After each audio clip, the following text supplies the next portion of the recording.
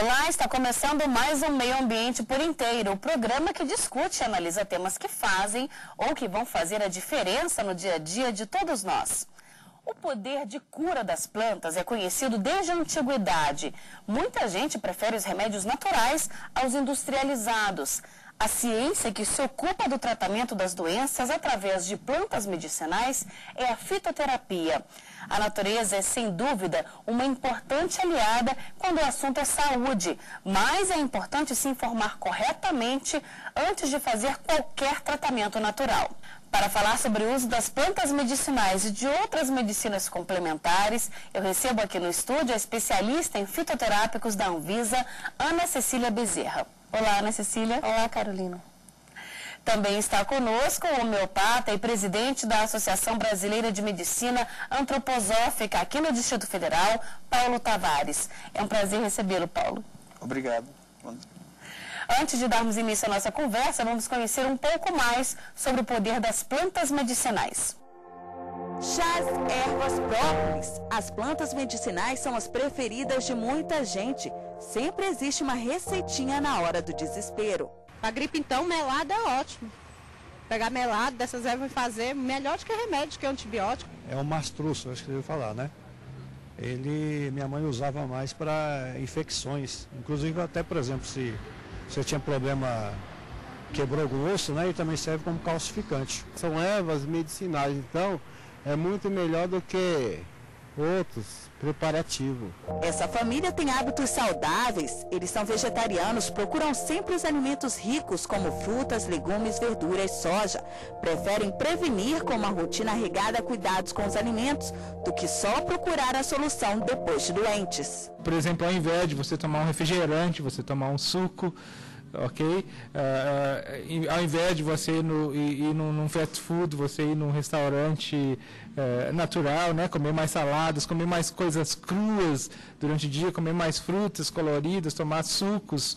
O escritor Alexandre tem esse estilo de vida desde a adolescência e passou para os dois filhos. Eles ficam eventualmente doentes, mas quando isso acontece, já sabe o que tomar para passar a dor. Começa tomando chá de guaco, um chá de boldo, aí a gente vai vendo se melhora. Você pode utilizar muitas plantas, chás, ao, ao invés de usar remédios. Em busca da cura ou de um alívio para uma dor, muita gente procura os raizeiros. Eles costumam ficar espalhados em barracas, em feiras ou nas ruas como essa aqui. Seu Valdemar trabalha com isso há 20 anos, aprendeu com o pai lá no Piauí. Seu Valdemar, você sabe o que é bom para qualquer doença? Qualquer tipo de doença inflamação de útero, ovário, corrimento, dor de cabeça, dor de barriga, astrose, bucite, impotência, dor de cabeça chaqueta, sinusite, bronquito. Além de comprar as plantas, o cliente também aprende massagens e receitas de sucos e chás. Tudo isso é um pedacinho, machuca, dor de água, machuca e toma. Ferve não? Ferve não, só machucar, mexer e tomar. Remédio não é legal, né? Então eu prefiro os remédios assim naturais. Ana Cecília, o poder de cura dessas plantas, ele é realmente comprovado? Olha, é, depende da planta que você está falando. Todas as plantas medicinais precisam ser estudadas e comprovadas antes de serem utilizadas. Não é porque é uma planta medicinal que ela é isenta de riscos. Então, tem que avaliar, levar para o laboratório e comprovar se ela é realmente segura e eficaz. Existem várias plantas brasileiras que já são comprovadas. Então, a população tem que conhecer e avaliar esses estudos antes de utilizar a planta medicinal. Existe um decreto que regulamenta a fitoterapia aqui no país? Existe o decreto que implantou a Política Nacional de Plantas Medicinais e Fitoterápicos, que foi publicado em 2006. Do que esse decreto trata especificamente, além de regulamentar a fitoterapia? Na verdade, a fitoterapia já era regulamentada no país desde o início da utilização de medicamentos. Fitoterápicos são medicamentos convencionais no país. Então, desde que se tem os decretos portugueses, da época da colonização, a fitoterapia já é regulamentada. Mas como uma política pública que ela foi implementada em 2006. E o objetivo dessa política é desenvolver toda a cadeia, desde a produção, a industrialização, a produção em farmácias das plantas medicinais e do medicamento fitoterápico que é o medicamento obtido a partir das plantas. Paulo, qual é a diferença entre a fitoterapia e a homeopatia?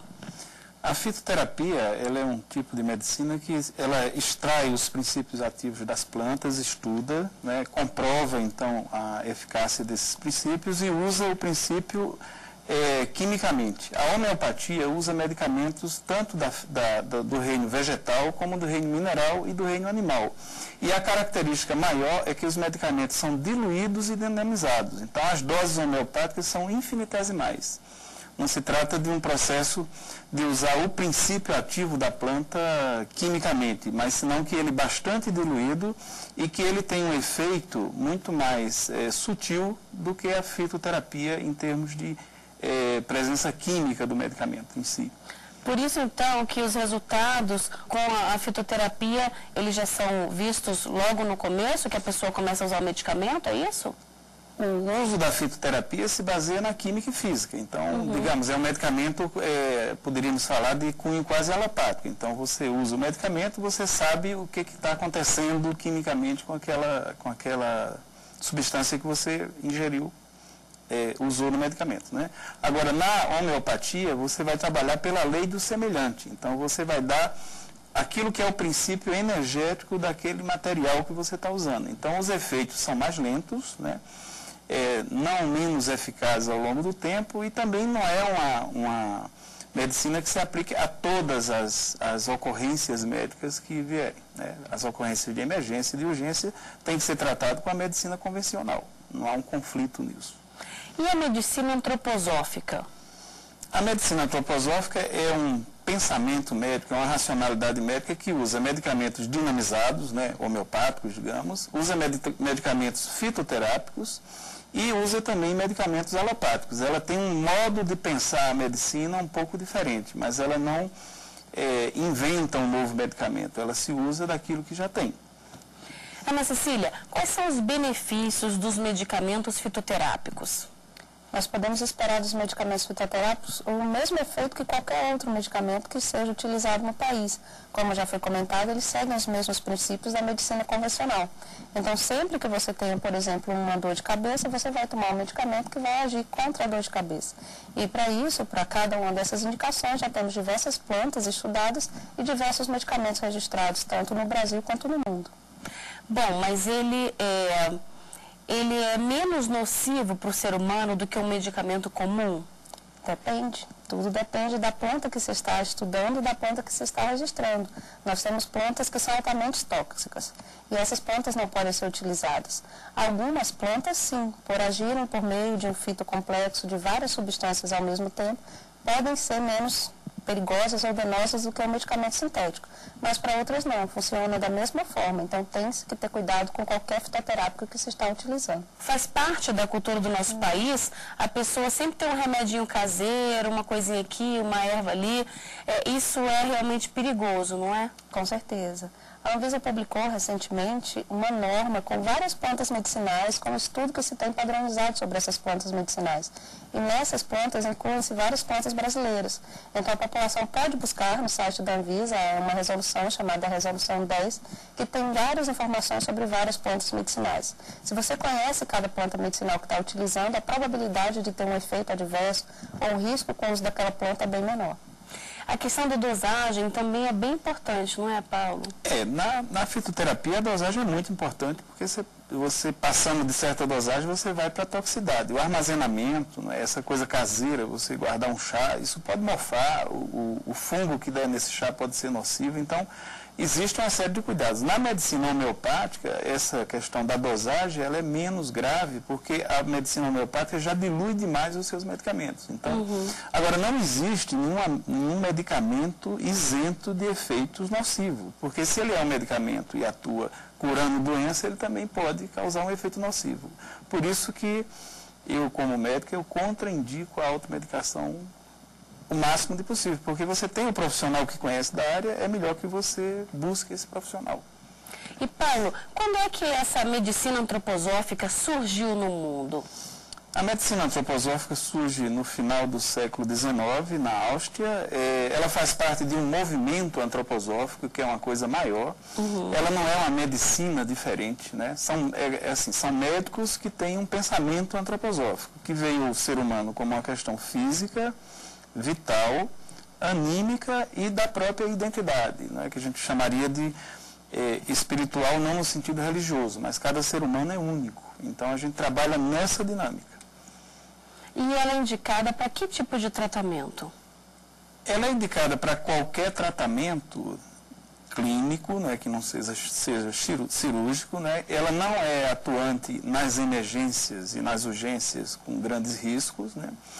É, essa, essa medicina é feita em consultórios é, particulares e também na rede pública. Agora, ela vai é, ser um, um atendimento de primeira instância, quer dizer, de, de, atendimento básico. Ela não se trata de um atendimento hospitalar ou de um atendimento de um nível mais elevado. Tá? Bom, a gente vai continuar conversando sobre esse assunto, mas antes vamos para um breve intervalo e daqui a pouco estamos de volta com mais meio ambiente por inteiro. Até já!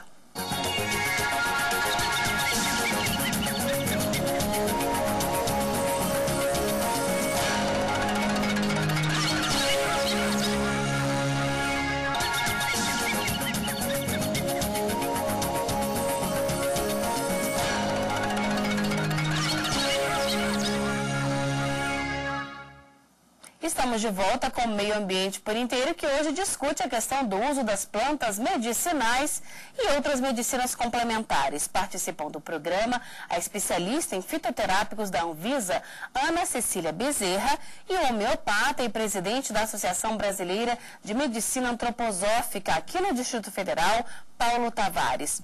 Ana Cecília, é, existem vários tipos de medicamentos fitoterápicos, ou seja, industrializados, as, aqueles que vendem na, nas farmácias de manipulação. Fala um pouquinho sobre isso. Isso, você pode obter a utilização de plantas medicinais de várias formas.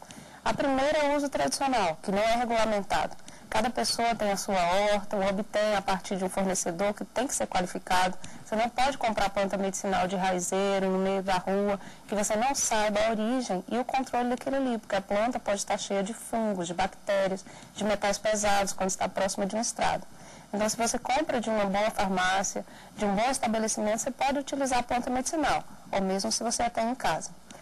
Outra forma é você procurar um profissional de saúde que vai te prescrever o medicamento. Esse medicamento pode ser comprado tanto na farmácia de manipulação quanto da indústria farmacêutica. Hoje nós temos já cerca de 400 fitoterápicos registrados no Brasil, ou seja, produzidos por grandes indústrias que fazem todo o controle de qualidade desse produto.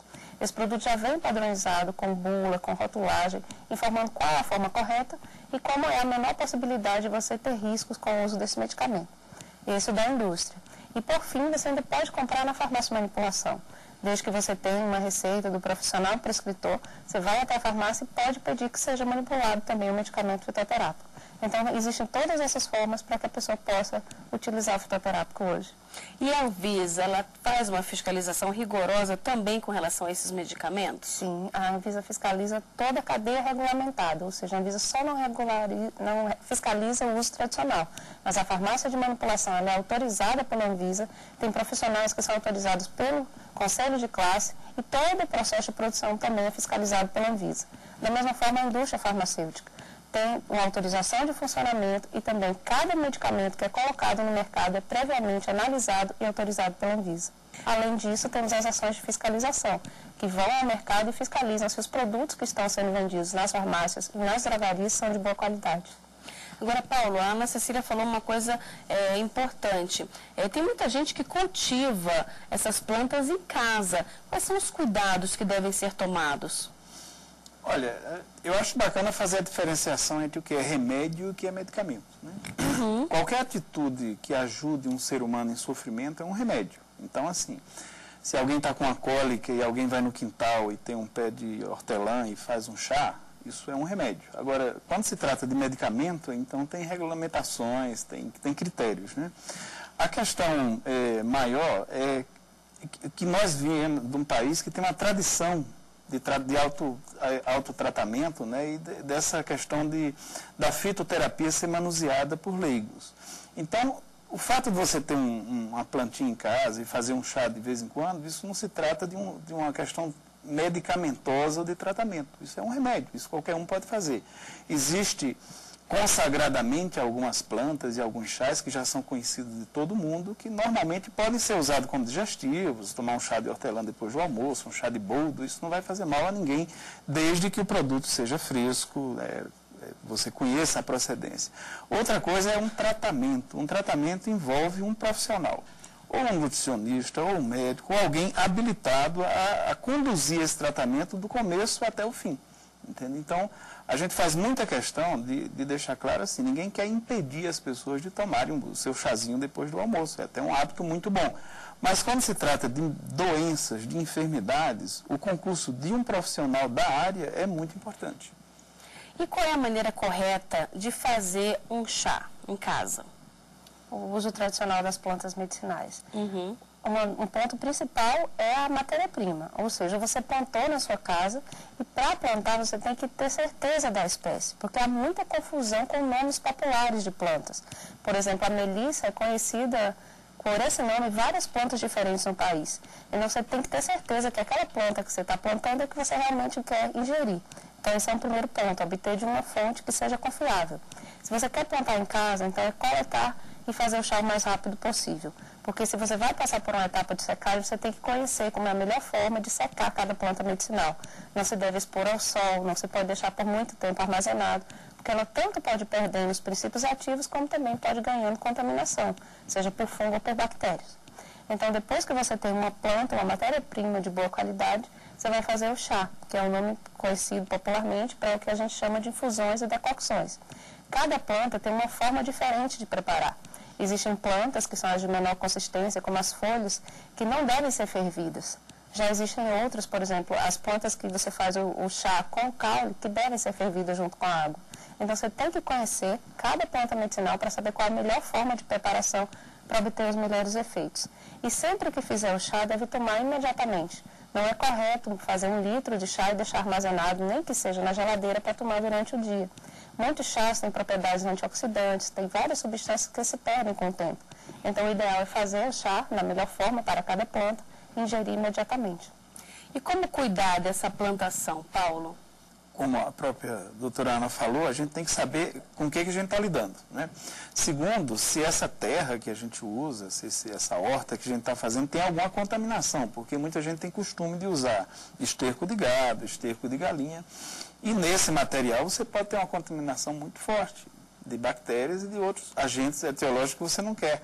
Né? Então, eu acho assim, como hoje existe uma industrialização de chás também, e é, e é regulamentada também, quer dizer, você compra o chazinho já seco, já feitinho, é, me, é mais seguro, é menos, é menos problemático. Agora, se você tem muito conhecimento e consegue controlar a sua horta, né, assim como você tem uma horta de alface, de tomate em casa, você pode ter uma horta de plantas medicinais.